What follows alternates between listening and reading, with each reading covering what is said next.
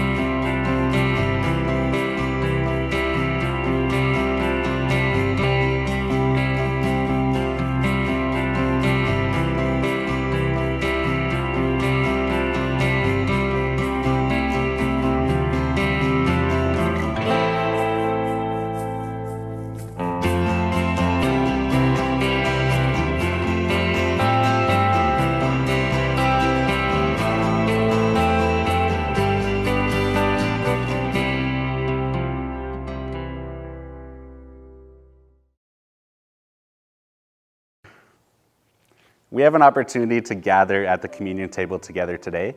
And even though we aren't together in person, we can still celebrate, remember, and proclaim this together through the spirit of unity. Um, I know for myself, growing up in church and just doing communion all the time, uh, it loses a lot of its significance and it becomes very familiar for us.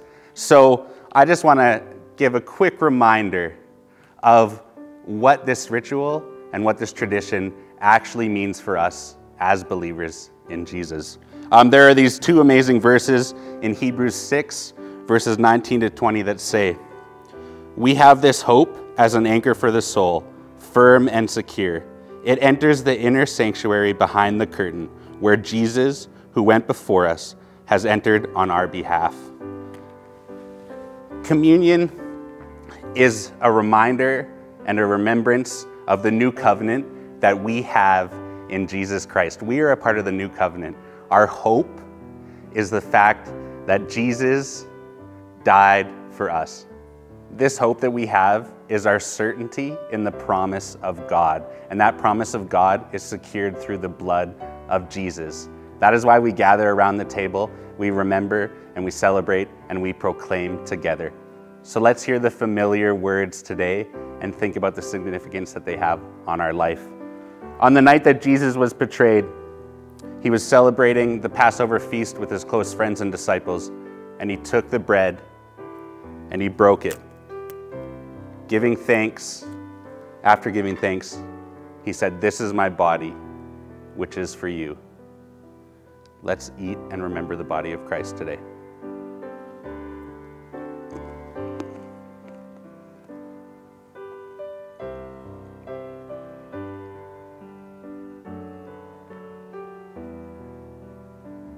Afterwards, Jesus took the cup, gave thanks, and he said, This is my blood, poured out for many for forgiveness of sins. So every time that we eat this bread and we drink from this cup, we proclaim our Lord's death and resurrection until he comes again. Let's drink in remembrance of him.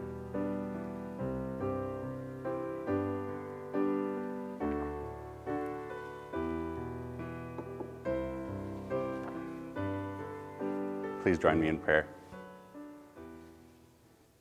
Dear Lord, um, we gather around the table today, Lord, and, and a lot of the times it is a very familiar tradition and ritual that we go through the church. Um, and I think oftentimes we don't think about what it actually means, Lord, that you sent your Son, Jesus, to earth to renew and start the ultimate covenant, Lord. We are under a new covenant through the blood of Jesus Christ. And because of his death for our sins, his resurrection, and his ascension to your right hand in heaven, Lord, we have the boldness to enter into the inner sanctuary behind the curtain. We can come before the creator of the universe, Lord.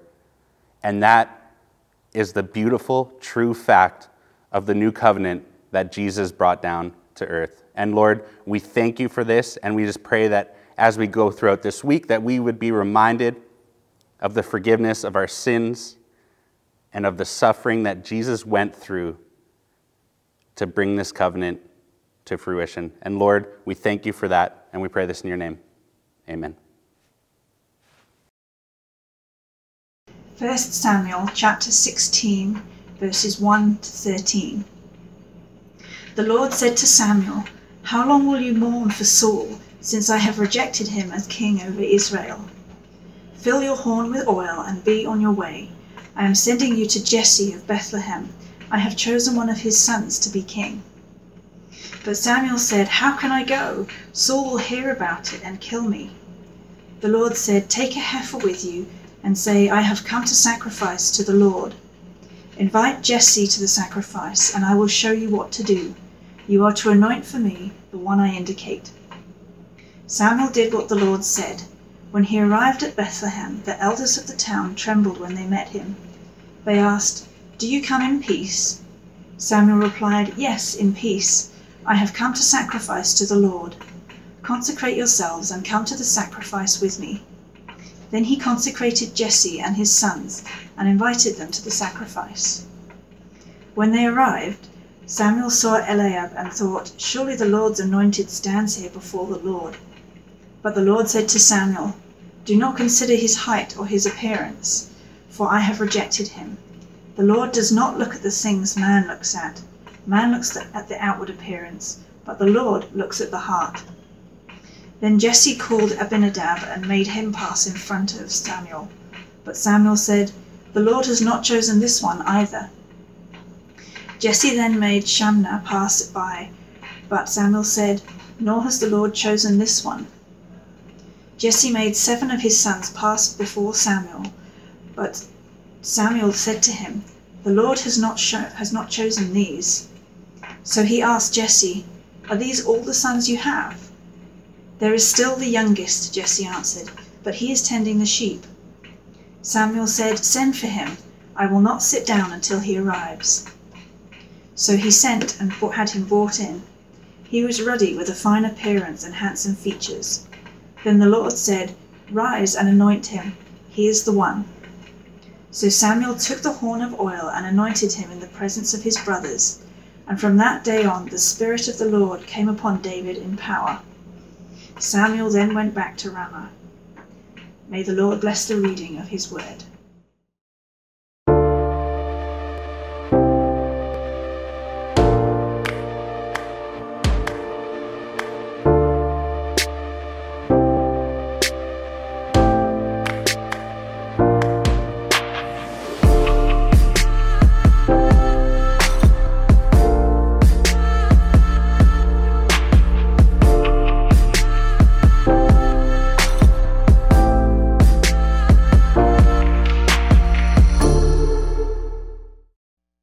Well, we are continuing today in our binge reading the Bible series. And if you've signed up for the 90 day Bible reading challenge, I want you to continue reading. I uh, just want to encourage you to do that from wherever you're at. Just keep reading the Bible, even if you have to go past 90 days to finish it. And if you haven't started the challenge, it's never too late to start. So go to the website, sign up for the challenge. You'll get the information you need to start the 90 day Bible Reading Challenge. Well, today we're going to be looking at the historical books that are found in the Old Testament. Uh, the Bible is really a fascinating book, isn't it? As you begin to read it, it's sometimes confusing, sometimes just enlightening, sometimes it's encouraging, but altogether, it's a remarkable collection of books written by over 40 different authors from a variety of occupations written on three different continents and three different languages over the span of 1,500 years, and yet it all points in a unity of direction. And it all points, I believe, to Jesus. And so it's a remarkable thing that we hold in our hands or on our phones um, as we read the Bible. But of course, we believe that this Bible is not just written by human hands, but that it's actually inspired by God, literally God breathed words that we get to read for ourselves. And so that's why they're useful for us today. And that's why the point of reading the Bible is not just to access information, but the point of reading the Bible is transformation. And I hope we really get that as we read the Bible together. Well, one of the things I want to point out as we start today is that all of these books, they actually represent different literary styles. And that's really important to pick up and to take seriously when we approach reading the Bible. If we want to read it for all it's worth, we need to take seriously the different literary contexts of the scriptures. If you were able to walk into a bookstore today, uh, you would notice, of course, that there are different sections within the bookstore. Uh, there's the nonfiction section and the fiction section. Over by Starbucks, there's the magazines for people who need to grab a quick read. There's a section for poetry. And somewhere way at the back is the increasingly weird religious book section, and you can find all kinds of things there. But you know that when you grab a book from one of those sections, that you're going to be reading a particular style of writing, and your expectations will match that style as you read it. A number of years ago, I was given a book to read, and it's a book that's actually one of the best selling books of all time in Canada. And some of you will recognize the title The Wealthy Barber. Now, I have really no point in having a book like that because I'm not wealthy and I have no hair. And so a book like The Wealthy Barber would not be well suited to me, but I decided, since someone gave it to me, that I would read it.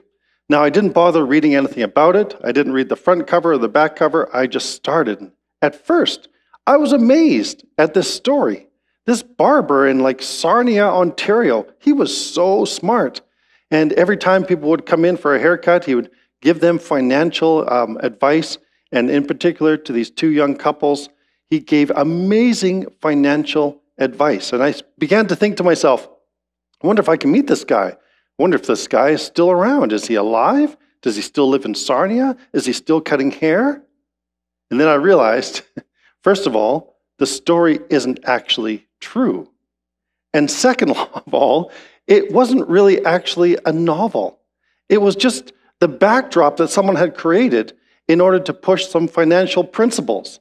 Well, I think I got to chapter three, and once I found that out, I just stopped reading the book. That might explain my financial situation today. Who knows? But the idea is there was nothing wrong with the book, but my expectations didn't match the book because I thought I was going to be, be reading a true story put into novel form, and I was excited. And when my expectations didn't match that, then I lost interest in the book. Well, I think we have to be really careful as we come to Bible reading that we understand the literary style of the passage that we're reading. That will help us to access the content, the information, and be transformed by it. There are three main literary styles that we find within the Bible. And there's lots of different nuances to these styles, but the three main ones are these. First of all, there's narrative, there's story. That accounts for about 43% of biblical content. The, the second main section is poetry. And poetry accounts from, for about 33% of the Bible. And we read story and we read poetry very differently. So keep that in mind. But then there's another section which some people call uh, prose discourse. It's just kind of like lectures, um, just information that's being shared in a particular format, and that accounts for about 24% of our Bible. So here's my point this morning, and this will be important as we come to the historical books. My point is that almost half of the Bible is in narrative form. Almost half the Bible takes the form of storytelling. And once we relax into that, once we watch for those kind of plot and character and themes and, and all that we use when we're reading stories, we will be able to access the Bible, I think, a lot more and a lot more effectively. And so when we come to the historical books, this becomes very important. Now, why is there so much story? Why so much narrative in the Bible? I think there's a couple of reasons for that. Uh, one of the reasons is simply that a lot of the early material in the Bible was given through oral transmission. It was carefully told by storytellers from generation to generation until it was finally written down. And so it takes the form of story. And I can almost imagine that when I read some of these passages, that people gifted by God, prophets and others, would recount the acts of God in the past so that future generations could remember them and hear those stories. And they would do it around the cooking fire, they would do it out in the field, they would do it when they had the temple. They would retell the stories of God over and over again. And so that's partly why we have so much story. But also because story is so compelling. It's such a great way to enter into truth through story. I don't know about you, but when I read a really good novel, I sometimes have to wait before I pick up the next one. Because when I start reading the next novel, I don't want to leave behind all the characters that I've gotten to know in the first novel. I don't know if you're like that. But when we read a really good story, we get immersed into the story and the characters become alive to us. And I think that's what we're meant to get when we read the living Word of God, when we immerse ourselves in these stories these are true living characters. Unlike the wealthy barber, these people actually existed. And so we get to interact with them, engage with them, immerse ourselves in the story. That's so important as we come to this.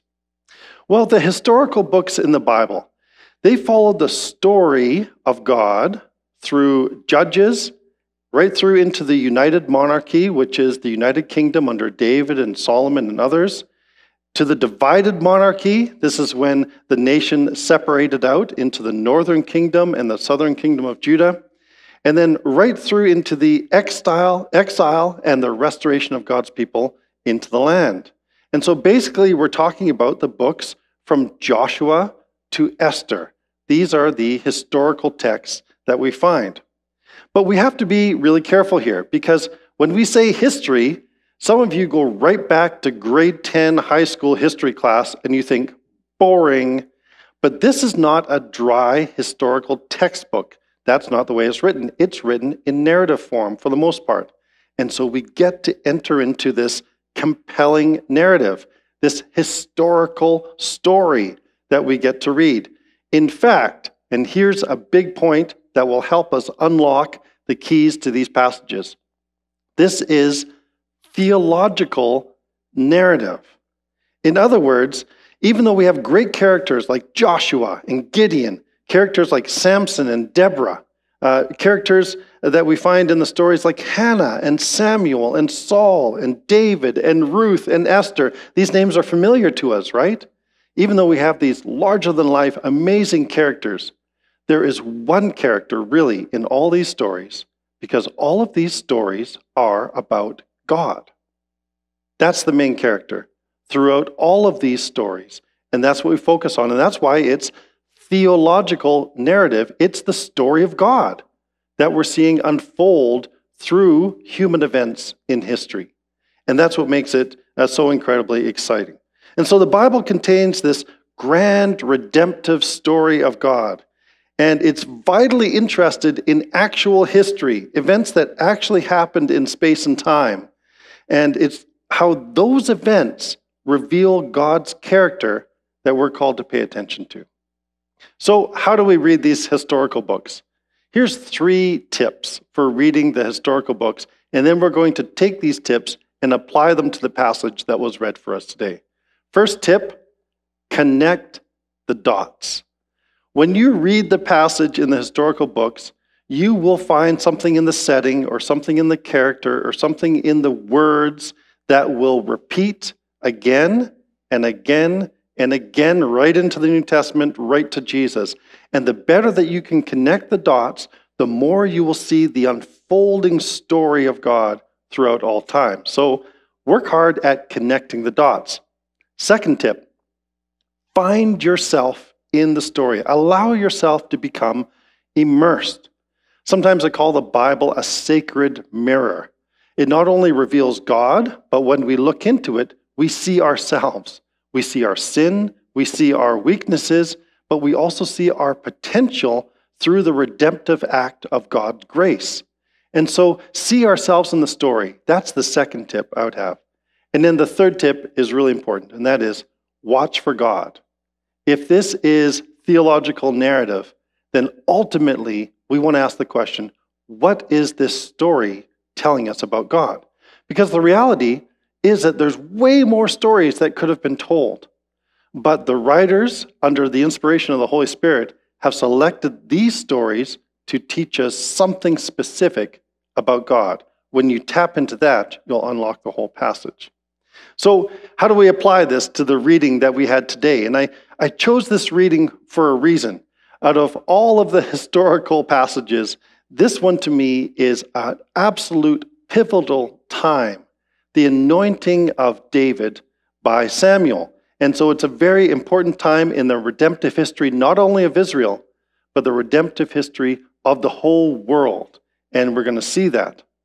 Um, the book of Samuel, and in, in the Hebrew Bible, there's actually just one book of Samuel. We've split it up into 1st and 2nd Samuel because of the length of the scrolls. But there is just one book of Samuel, but it might be better entitled the book of David, because really the main character through 1st and 2nd Samuel is King David and not Samuel.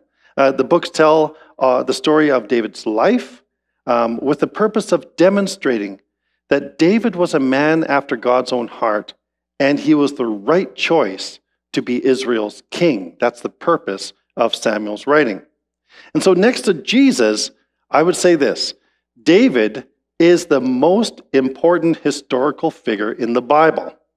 And we find that just by the sheer volume of writing about him, just by the, the real estate that he takes up within the Bible. Um, Abraham was important, and he gets about 14 chapters. Uh, Joseph, very important figure, 14 chapters. Jacob, a little bit less, 10 chapters. Moses gets an astounding 40 chapters. But David gets 66 chapters dedicated to him and is mentioned in the New Testament at least 57 different times. So, do you get this, the importance of this moment, of this anointing of David, and how he's such a pivotal character within not only the history of Israel, but the history of the world? And so, let's take the first principle. Let's see if we can connect some dots together. Well, Samuel is actually the last of the judges. There's been a period of the judges when Israel was really a loose collection of tribes. And these judges came and gave leadership, sometimes came and gave deliverance. There were sometimes wild and radical characters. We think of Samson. Uh, but Samuel is, is not just a prophet, he's really the last of these judges. And there came a point right at the end of the time of the judges where it seemed like everyone was doing what was right in their own eyes, and Israel had no king. And so Israel comes together, looks around at the other nations, and says, We want a king, just like the other nations. And so God instructs Samuel to go and anoint Saul. Saul is the first king of Israel. But Saul is chosen on kind of dubious terms. He's chosen because he looks like a king, largely because he's a head and shoulders above everyone else. And as soon as people see him and Samuel points to him, they shout out, Long live the king! And poor Saul, he does pretty well at the beginning of time. But then over the course of his kingship, he, he descends into just being really off the rails, literally, uh, through jealousy, through disobedience, through other acts. And so now it's time for him to be replaced. And David is God's choice for king. But here's the dot that I want to connect. Notice the setting of this story. Where does it take place? Take a moment just to think about that. Where does this story of the anointing of David take place? Well, it takes place in Bethlehem. And that's incredibly important. And where do we see that again and again? I mean, we just celebrated Christmas, so this should be pretty fresh in our minds.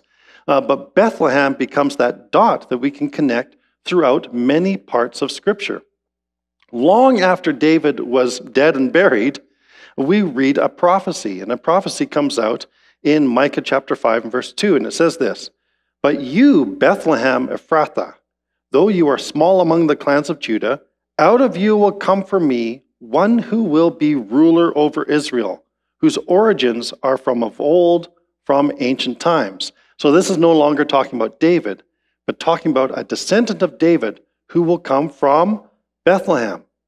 Well, now fast forward again to another dot. We find in Matthew chapter 2, verse 6, the gospel writer just picks up this exact verse and applies it directly to Jesus when Matthew says, But you, Bethlehem, in the land of Judah, are by no means least among the rulers of Judah, for out of you will come a ruler who will shepherd my people Israel. So Matthew makes it even more connected to our original passage in 1 Samuel chapter 16 because he refers to the shepherd. Just as David was the shepherd king, so now we have a new shepherd coming from Bethlehem that is Jesus, the Messiah. And so once we start to connect the dots, we can see how this, this multi um, volume work of, that's called the Bible is actually connected all the way through by the Spirit of God. And that's fascinating. So connect the dots. Well, let's look at this passage and apply the second principle, and that's this find yourself in the story. How do you find yourself in this story? I, encourage you today to reflect on it and, and just hold it up as a sacred mirror and see where you find yourself in the story. I've been reflecting on this story for the last couple of weeks, and here's my lesson to me God prefers the younger brother. Now, I'm sorry, my older brothers, but it's just the fact. It's the truth. Um, well, stay with me because I want to prove this to you and then make an actual legitimate point out of it. Um, Isaac is preferred over Ishmael. Jacob is chosen over Esau, even though he's younger. Joseph is chosen over his older brothers. Here, David is chosen over his older brothers. Even if we get to the New Testament and the story of the two sons, it's the younger brother that receives the grace of the father and actually enters into the party that's thrown for him. The older brother is, is kind of like the Pharisees that remove themselves from God's grace. And so it's the younger brother that's part of this story. Well, I realize that it's not really just about being the younger brother as I am in my family, uh, but there's a lesson here that I resonate with. See, the older brother in historical times, that would be the one that would have all of the status, all of the power, all of the expectations to lead. But here's the point God doesn't always work according to our expectations, especially when it comes to power. In 1 Corinthians chapter 1 and verse 26, Paul picks up this theme because it's a theme that goes all the way through both the Old and New Testament. That God often takes the weaker things, the things that are on the margins, the things that are discounted by society, and uses those things to show his grace, his goodness to the world. Paul says this Remember, dear brothers, that few of you were wise in the world's eyes, or powerful, or wealthy when God called you. Instead, God chose the things the world considers foolish in order to shame those who think they are wise. And he chose the things that are powerless to shame those who are powerful. God chose things despised by the world, things counted as nothing at all, and used them to bring to nothing what the world considers important. As a result, no one can ever boast in the presence of God. That's a principle I resonate with. I resonate with this idea that often I feel very unprepared and inadequate for what God has called me to do. But I trust that in my weakness, God's strength will be shown so that I don't get to boast about anything, but all the glory goes to God. That's an incredible thing that I resonate with. That's how I find myself in this story. So, how do you find yourself uh, in this story today? Think about that. Well, last thing, last principle we want to apply to this passage, and that's this watch for God. Where do we see God in this passage? What do we see revealed about God's character? I think there's lots of things, but the one thing I want to come to is this verse 7, which says, The Lord does not look at the things people look at. People look at the outward appearance, but the Lord looks at the heart. For me, this is the climax of the story. It's not even the anointing of David, it's actually this statement Israel chose a king in Saul according to outward appearance. Now, even though David was a handsome young guy, that was, that was evident in the story as well, but it was his heart that God was after. And that's the revelation of God that we're meant to get in this story that God looks at the heart. You see, the Bible, the Christian faith, it's, it's not a, a whole scheme, a whole plan to make us behave better. It's not a behavioral modification program. It's not the external that God is really uh, interested in. We can all put on a good show. We can all put on a good act. We can all learn how to behave appropriately in society. But God wants transformation at the heart level. He wants to change us from the inside out. And we can't do that ourselves. That's why in this story, it's the Spirit of God that comes on David and gives him this new heart, a heart to serve. That's what God is interested in. He's interested in our heart. Well, one of the things that always amazes me when I pick up the Bible and turn to the historical books is that this history is now my history. It, it wasn't. In reality, I'm, I'm not uh, Jewish born, I'm not of Hebrew origins.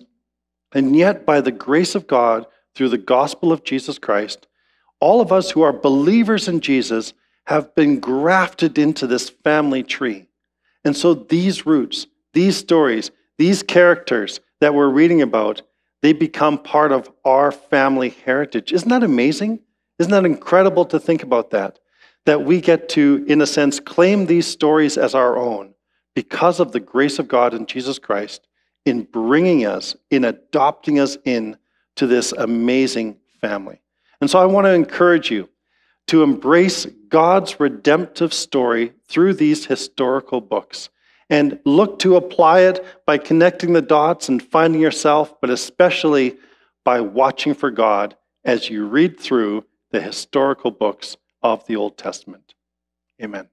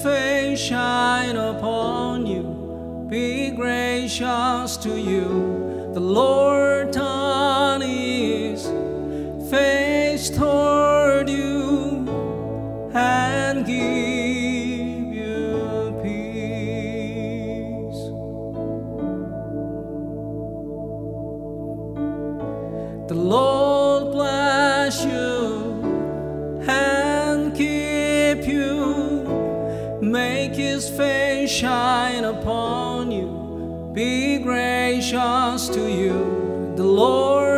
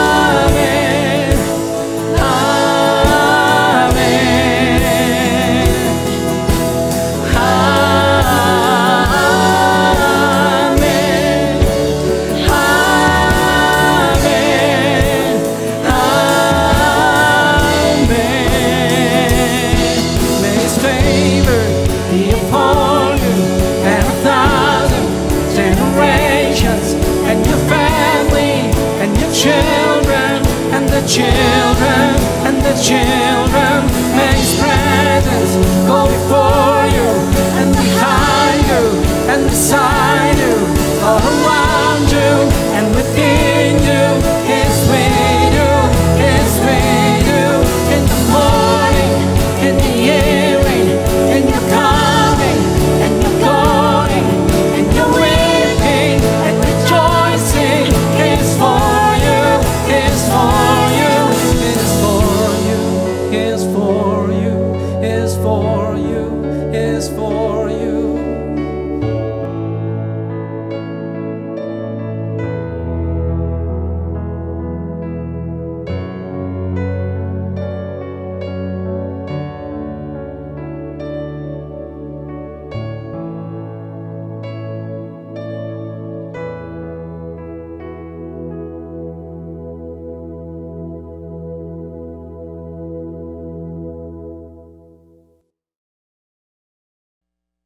Thanks again for joining with us in worship today. Remember, if you have a need for prayer or any other kind of assistance, please contact the office, send us an email, and we'd like to serve you in the best way that we can. Also, remember that we do have for the month of, month of January a midweek Wednesday evening prayer and short devotional time. You can sign up for that on our website. That'll give you the Zoom link, and then we'll join together at 7 p.m. on Wednesday night uh, for a prayer and devotional time. That's open to anyone who wants to join in for that. Well, now may the Lord bless you and keep you. May the Lord cause his face to shine upon you and be gracious to you. May the Lord lift up the light of his countenance upon you and give you peace. Amen.